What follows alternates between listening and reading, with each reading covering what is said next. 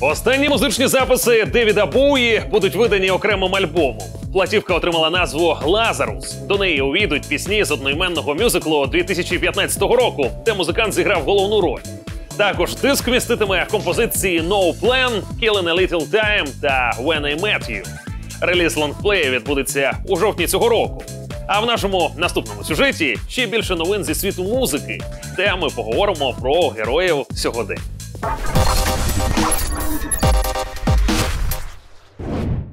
Ні для кого не секрет, що у шоу-бізнесових колах, як і у всіх інших сферах, є фаворити. У світі музики одним із таких можна сміливо вважати Келвіна Харріса. Колеги люблять його творчість, і як результат з'являються безліч успішних колаборацій. Така затребуваність, очевидно, і змусила Келвіна прийняти рішення не на користь власної кар'єри. Ось у чому справа. Харріс зробив гучну заяву. Він припиняє випускати сольні альбоми і зосередиться на створенні синглів.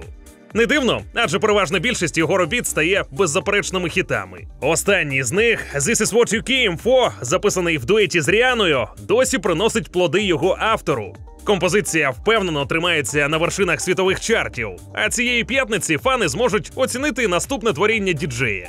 Келвін представить новий сингл під назвою «My Way».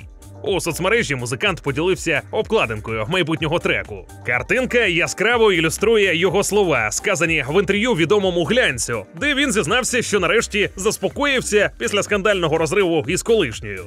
Я позитивна і зовсім не зіркова людина, додав Харріс.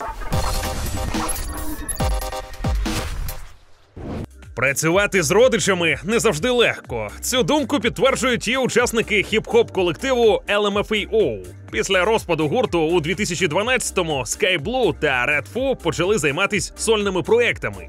Наразі перший з них працює над дебютним альбомом.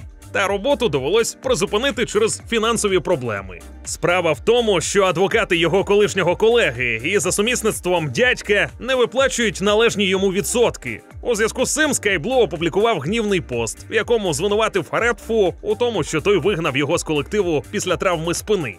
Судячи з усього, на відродження LMFAO сподіватись не варто, принаймні доки виконавці не вирішать внутрішні проблеми по сімейному.